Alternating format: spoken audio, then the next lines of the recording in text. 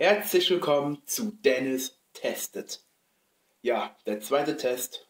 Und zwar kümmern wir uns um zwei Shampoos, um Dusch das. Das erste ist hier mit Alantoin. Kann man als Duschgel als auch mit Shampoo benutzen. Und das zweite ist dann eher was für die Frauen. Dusch das mit Magnolia, also einen Magnolienextrakt. Ja, wir gucken uns mal hier hinten an. Ne? Also 250 Milliliter sind drin. Und ähm, wenn ihr mehr wissen wollt, geht auf duschdas.de.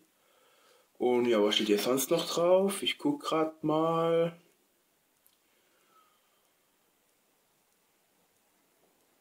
Ja, ansonsten gibt es eigentlich nichts zu sagen. Also ich mache mal einen kleinen Dufttest. Gut, für Frauen würde ich ihn ja so 90% empfehlen, denn es gibt natürlich noch viele andere Sorten. Und dann noch Upsala.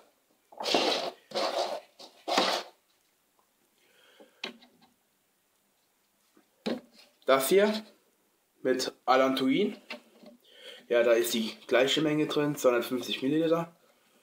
Und ähm, ja, riecht auch gut. Ich mache kurz nochmal einen Riechtest. Ja, auch 90% für das Duschgel für Männer und auch 90% für die Frauen. Ja, das war der zweite Test. Bei äh, dem dritten Test überlege ich mir auch was Cooles und werde es testen. Und ich würde sagen, bis zum nächsten Mal. Ciao.